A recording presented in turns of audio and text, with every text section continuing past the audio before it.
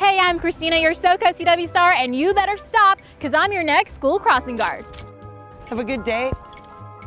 And here to help me out is Megan Nygren with School District 49 at Odyssey Elementary. And she's been looking out for kids on the road for the past five years. She's set me up with a vest, a whistle, a stop sign. But You're not official until you wear these. All right, Christina, I think you're ready. All right, here I go.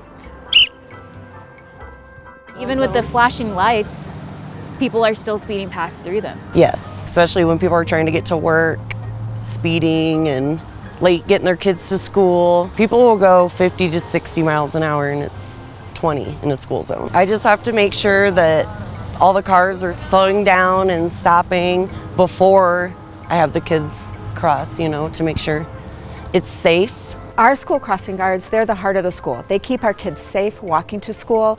They know our students, they know our families. They're um, on time every day and supporting school safety, which is our first priority. Is this your move? Give them one of these. And then, yep, and then when you're out there, sometimes you just stop, turn, give them the turn. It's like you're modeling? Right, yep, like the, like the catwalk. You're doing good. I feel so Morning. weird. Have a good day. Have a good day. you look official. You got this. Look at them. You're crossing them safely. Am I holding the sign up high enough? Yes, you are. I think they can see it. good morning, Liam. Have a good day. And we wait here. Just till they get all the way out of the crosswalk. Oh, and then I wave. Yep.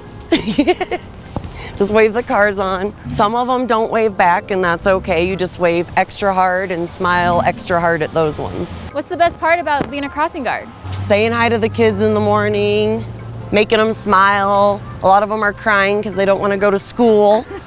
All right, Megan, we got these kids safely across to school. How would you say I did? I would say you did amazing and you did it with style and grace. For now, I'm Christina Dawidowicz reporting for Fox 21 Local News right now.